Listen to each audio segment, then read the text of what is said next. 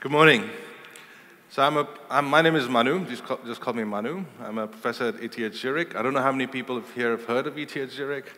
Uh, it's one of the top universities in the world, uh, especially in Switzerland. Uh, you might have heard of this chap called Albert Einstein. He was both a student and a professor there. And we have more than 20 Nobel laureates, and I've been there for about six years. Um, and my research looks at you know, the science of human cognition and learning.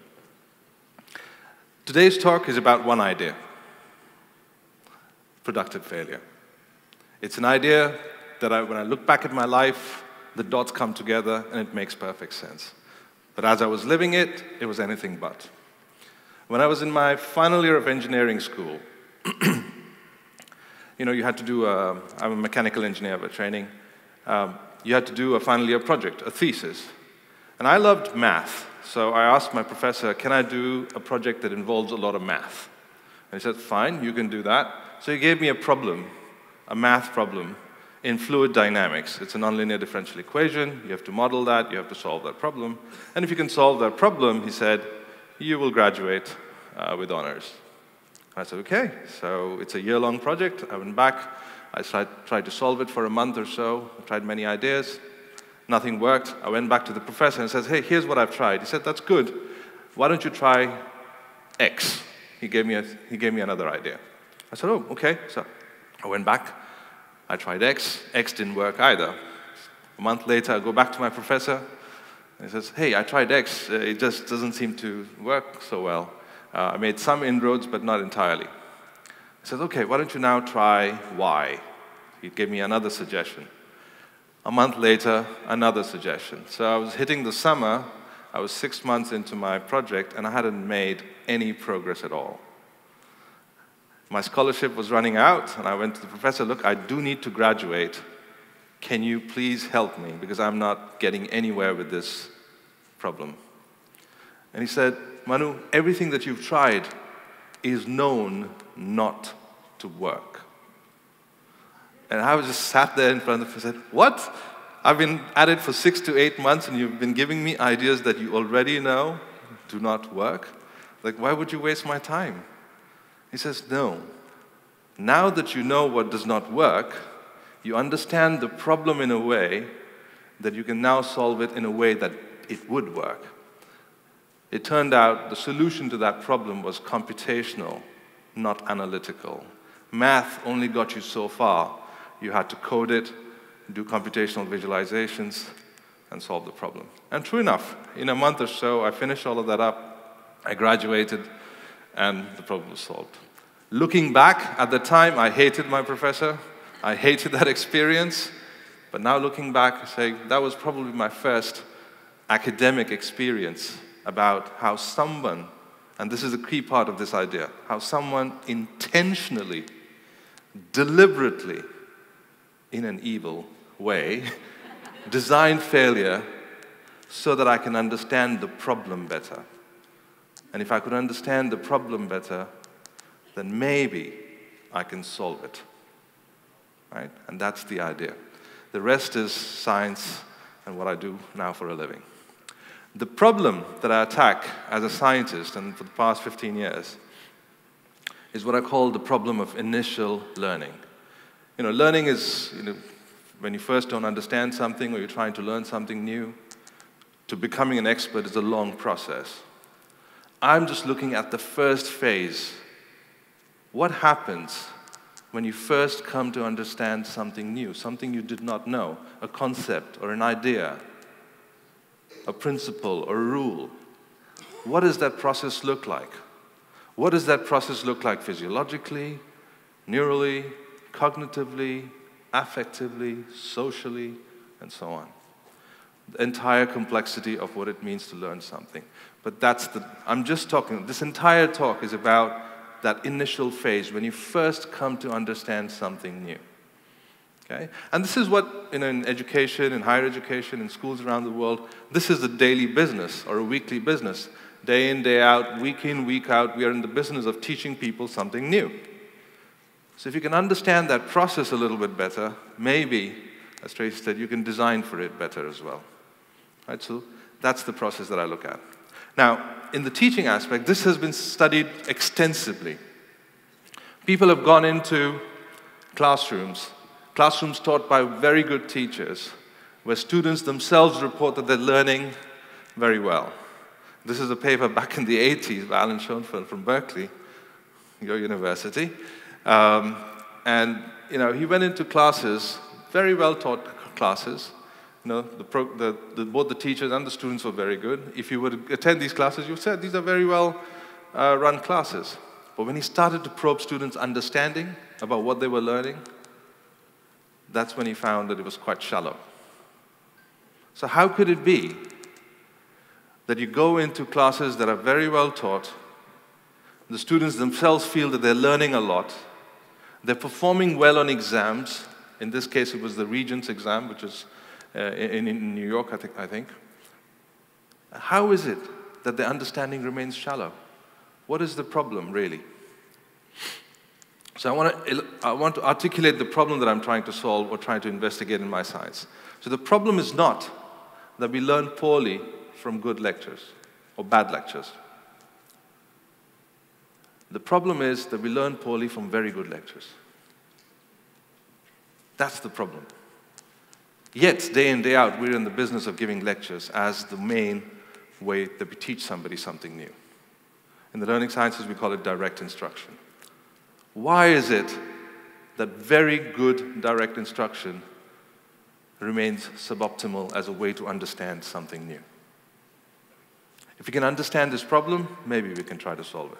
So I'm going to take you through a couple of reasons, just a couple. There are many reasons, a couple of reasons why this is suboptimal. Okay? Why do we understand poorly from very good lectures? So let's try to understand why. So I'm going to do a thought experiment. A thought experiment on seeing things. Imagine you are in a movie. You're watching this really entertaining, engaging movie. Imagine the person sitting next to you is an acclaimed director, someone who's an expert at making movies. You watch the movie, you come out of the cinema and ask you a question. Hey, did you watch the same movie as the director? And you say, oh, Manu, of course I did. I was sitting next to him or her. Of course I watched the same movie. But if I asked you this question, did you see what the director saw? Chances are you would say no. And decades of research in experts versus novices in a number of domains has a very robust and simple finding. Experts see very different things from, sorry, I'm hearing some echo, that's why I was, experts see very different things from novices. Experts tend to see the same stimulus. It could be a formula, it could be a picture, a diagram, a piece of text, a piece of art, a movie, a football match. An expert would look at the same stimulus and see very different things. Experts tend to see deep structure. Novices tend to see superficial structure. But it's the deep structure that you need to be able to see so that you can understand something. And that's the paradox for a novice. If you're teaching a novice something new, they need some knowledge to, to be able to see the thing that you want to show them. But that's precisely the thing they do not have. So, how do you prepare somebody to see something? So, teaching is great, explaining expert knowledge is, ex- is absolutely important. But the first job of teaching is really not to teach. The first job of teaching is to prepare the novice to see. And once you've prepared the novice to see, then you can show them. Then you can teach. Right? But assuming that your well designed lecture, whether it's face to face or online, it makes total sense to you that novices in your classrooms are seeing what you're seeing in that as an expert, that assumption is flawed. So the first job if you want to solve the problem, is to prepare the novice to see. How do you do that? Turns out failure has an important role in how you design for that, but we'll get to that. That's the first reason. Second, we also want information to be encoded, concepts and ideas, knowledge, to be encoded in ways that we can use it flexibly and adaptively. There's no point learning in a way that, oh, I, I learned to solve these kinds of problems, and if I get the same kinds of problems in same kinds of contexts, and only then am I able to do them. You want to be able to do what Tracy called transfer. Transfer flexibly to novel situations. How is it that we develop flexible adaptive knowledge? Again, another thought experiment, just to illustrate this point. I'm going to divide you down the middle into two A and B. Okay? Imagine your kids who love to play with toys. Right? Just like these kids are playing with Lego blocks. I come to group A and I say, hey kids, here's a new toy. A new toy. Do you want to play with it? This is obviously a very enthusiastic set of kids on a Monday morning in Seville. Well, let's try it one more time. Hey kids, here's a toy, new toy. You've never seen it before. You want to play with it? Yes. All right. Okay, here you go. I give you the toy, play as you like, and I observe what you, what you do with it. Okay? Now, while they're playing, I come to this half. Remember? Hey kids, here's a new toy. Do you want to play with this? Okay, this group is a bit more enthusiastic, but they've learned a little bit. I said, wait, this is a new toy, so let me first show you how to play with this toy. Okay? Let me show you. Watch and learn. I can do this, I can press a button, I can turn it upside down, blah, blah, blah, right? Now that you've seen how, uh, uh, how to play with this toy, now I give you the toy and play as you like, by the way. You know, as you like. And I observe how you play. I systematically observe both the groups. Which group do you think would be more inventive, more creative with the toy? A, you know, the not so enthusiastic group. in spite of their lack of enthusiasm, I think they would still be the more eh, creative with it. And that's exactly what some experiments in child psychology also show. This is not just a thought experiment, these are actual experiments. It's a bit more nuanced, but the idea is very simple. What do we do with knowledge, concepts, and ideas in schools? They're not tangible toys like that, they're conceptual toys. And part of creativity, flexibility, inventive thinking, they come from being able to explore, play, tinker, fail, fail, fail with these ideas.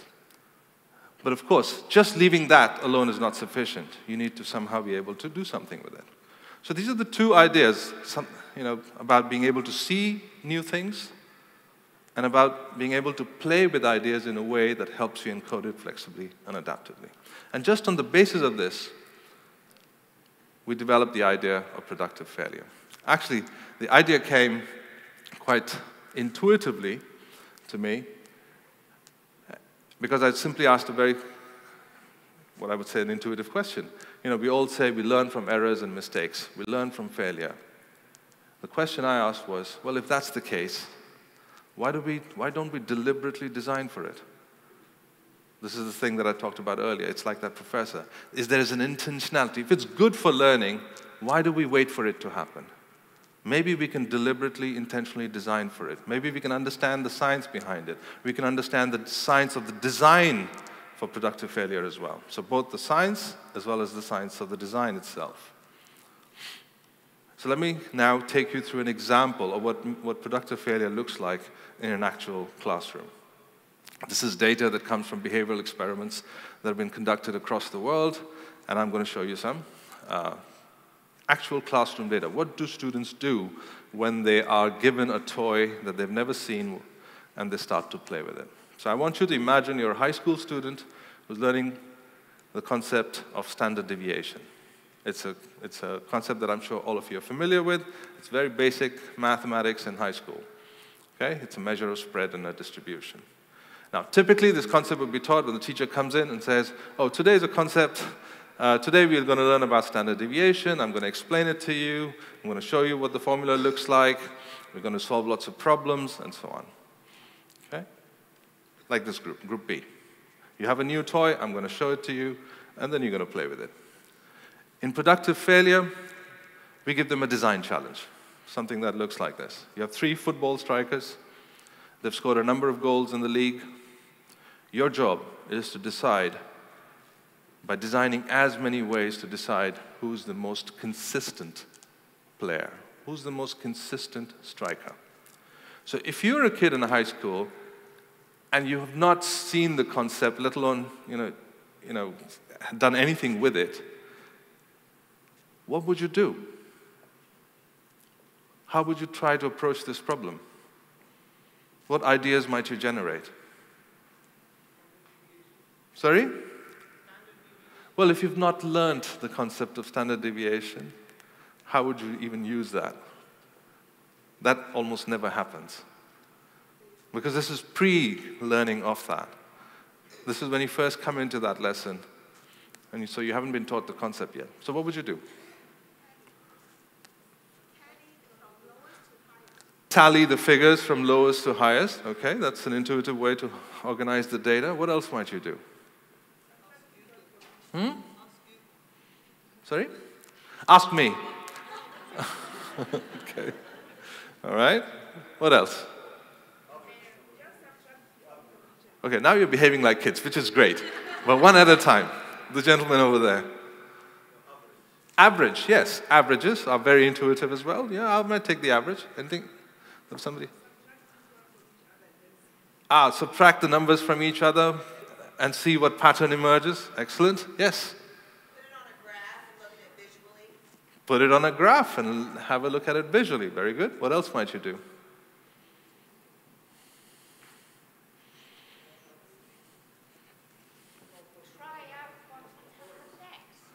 Try out? What would happen next with the data? Okay, so maybe do some prediction or, okay. There was another idea over there? Sorry? Yes, so like a tallying, but frequency tallying. Which number occurs the most? Right, so excellent, good. Good sets of ideas. Do you want to see what students actually do? you have to say yes. You have no choice. So when a speaker says something like that, you've got to jump up and say, yeah. Okay, so this data comes from thousands of students, like I said, and I'm just showing you the typical solutions that they produce. So this, they use totals, and they use averages, they use medians, because they've learned, and modes, and they've learned all of that. But we've designed the problem in a way that invites that knowledge, but by keeping everything the same, they say, oops, we can't solve this problem. Okay? They start to tally the score, and they can qualitatively argue, right, you know, this one is more bunched up, this one is more clustered, so on and so forth, using very intuitive language. Some of them have learned box plots and uh, uh, polygons, frequency polygons, and they can just look at it qualitatively to get an understanding of the problem. Graphs, I think this is what you meant, you know, number of goals uh, on the y-axis, year on the x-axis, and you ask the student, what's going on here? What are you trying to see? How, how are you measuring consistency? He says, oh, if it goes up and down a lot, it's more inconsistent. If it doesn't change so much, it's more consistent. This is how they're playing with this idea, which is a good idea. But then we say, well, can you be like a mathematician? Can you be more precise? Can you quantify it? So, okay. Nobody mentioned here, but range is another very intuitive idea. They may not even call it range, but they say max minus minimum. Let's see the extremes. But we know they're going to use that, so we keep the same. So they look at the center, they can't find the solution. It looks the same. They look at the ends, it, they look the same. In the middle, they tried some qualitative way to find the answer, but they can't. A very intuitive solution is what I call the stock market solution. This is the take differences from year to year. So, how much fluctuation within each player from year to year? And they add all the fluctuations. And if this number is small, it's more consistent. If this number is large, it's more inconsistent. A very intuitive solution. You will not find it in any stats textbooks that I know of, but it comes up very often. Some of them recognize the large fluctuations, positive and negative fluctuations tend to cancel out. And so we're, going, we're just going to ignore the signs they say. Some of them go on to take an average. And so they're trying to play. They're trying to generate ideas how to measure consistency without having learned or even know the concept, standard deviation, just yet. And this is what typically happens, but sometimes magic happens too. In this case, we pushed a group of students to quantify their graphs. And they said, okay, and this is what they came up with. They said, imagine we could hold the ends of the graph. And says, imagine we could extend the graph into a rope. What if, they argued, we can calculate the length of that rope? The longer the rope, the more inconsistent. So, what they've done is they've taken their knowledge of this guy called Pythagoras, you might have heard of him, right? A squared plus B squared equals C squared. They've divided the graph into right angle triangles. And you can see at the bottom, they've calculated the hypotenuses 19 times to get to the length of the rope 83.26, 56.54, and 94.54. To this date, I've never bothered to check this calculation. Do you know why? Because the mathematics is not in the computation. The mathematics is in the play of imagination, of creativity, how you can design a situation which invites students to generate and invent knowledge without even getting it right. And that's what, that's what a well designed initial generation and exploration phase could look like before they even learn. This is the kind of knowledge kids already have. They don't know they have it, teachers don't think they have it, but if you can design this well, it can be really powerful. At least that's what the theory says. So, does this work? We don't know. So we do experiments. We do lots of behavioral experiments, right? And we do them in a broad stroke experiments like that. We compare it with the most standard, regular form of instruction in the classrooms, which is, like I said, it's called direct instruction. And you can think of it as, you know, a teacher coming in and saying, here's a new toy, I'm going to show you how to play with it, I'm going to explain it to you very clearly, and we're going to solve lots of problems. And I'm going to give you feedback, very good instruction. In productive failure, think of it as the other way around.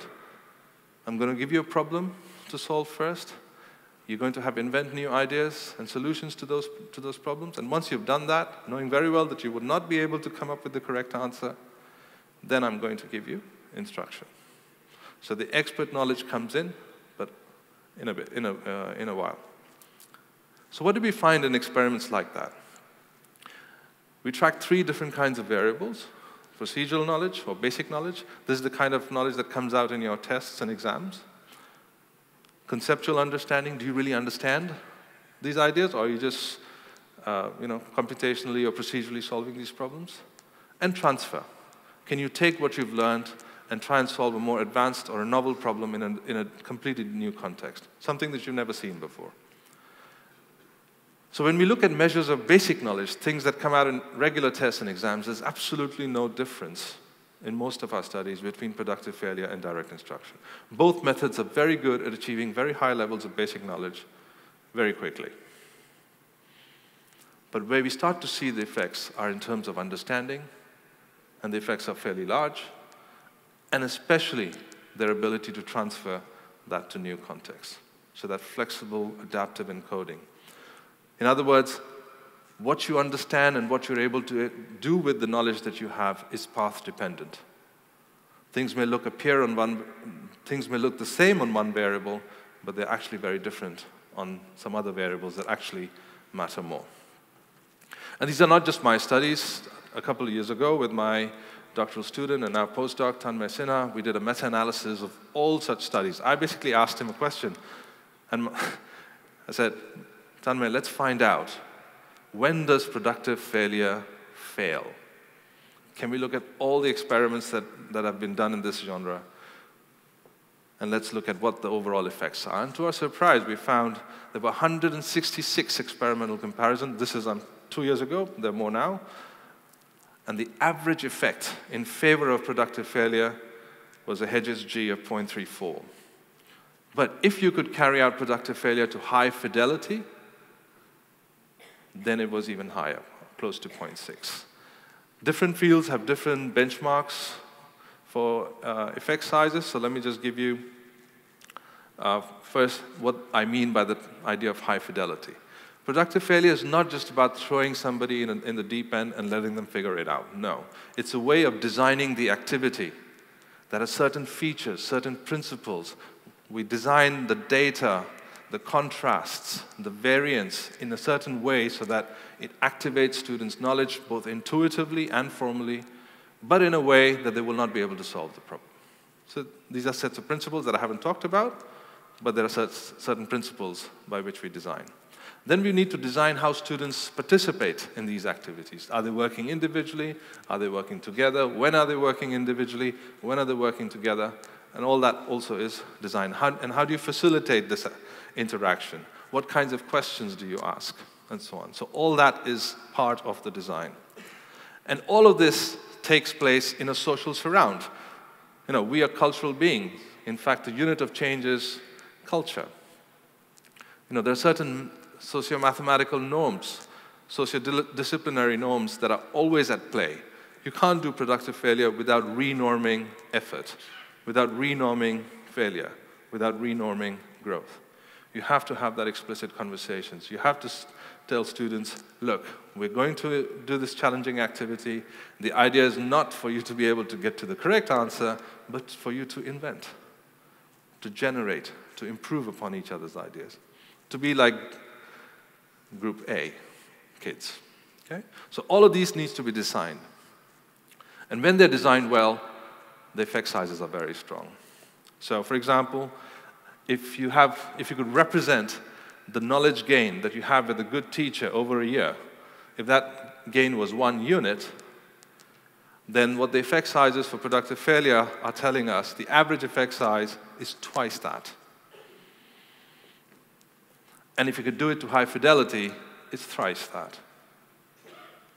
Okay? And that's, that's very cool. Because here we're talking about not small incremental uh, improvements, but really breakthrough phenomena. So, before I end, I want to talk a little bit about why does this happen? What are the underlying learning mechanisms? Right? And I, I'm going to put them into four A's. Right, the first A is activation. We build new knowledge based on prior knowledge.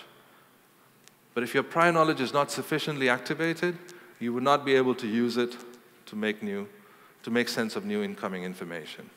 So activation is key. Differentiating that knowledge is key.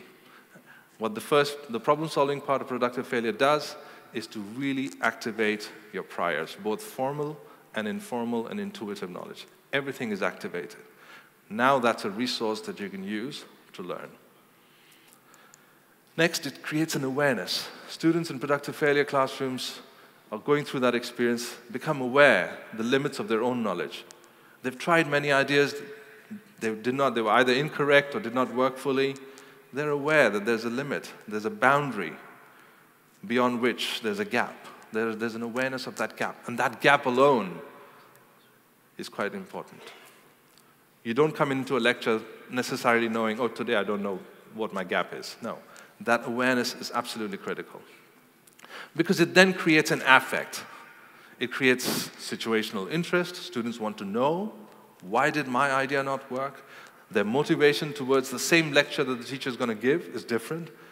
It's not towards just attending the lecture and taking notes, but it's really trying to understand what's going on.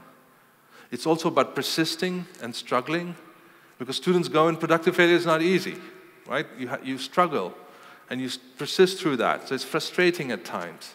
And some of our studies have shown, you know, we, we used to thinking of positive emotions or positive affect states as being positive for learning always. Not true.